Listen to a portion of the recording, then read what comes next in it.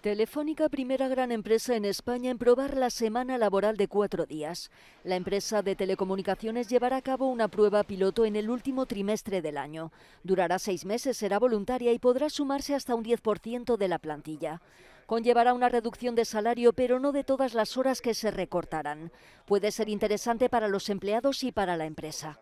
Les puede compensar a ambos, porque reducen, pues por una parte, mm, horas de transporte y de desplazamiento, reduce también para la empresa costes de mantenimiento. El gobierno español aceptaba a principios de año la propuesta del partido de izquierdas Más Madrid para aprobar la semana laboral de cuatro días. Hay quienes ya están inmersos en ello, como el restaurante La Franchela en Madrid. Hemos introducido tecnología en el servicio, en la forma en la que atendemos al cliente, para permitir que los trabajadores no tuvieran que estar tanto tiempo esperando, digamos, al lado de las mesas. Muy contenta porque me permite hacer otras cosas, ver a mis amigas, a mi familia, estudiar.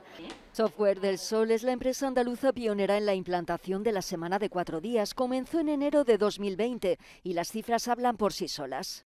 Tenemos una reducción del asentismo en un, casi un 28% y un aumento en la facturación de casi un 20%.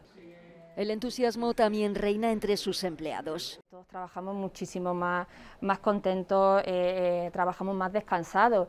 El hecho de, de tener un día más de descanso lo que hace es que lleguen los lunes de otra manera. ¿no? Si se demuestra que tiene más ventajas que inconvenientes, la semana laboral de cuatro días podría ser en breve una realidad.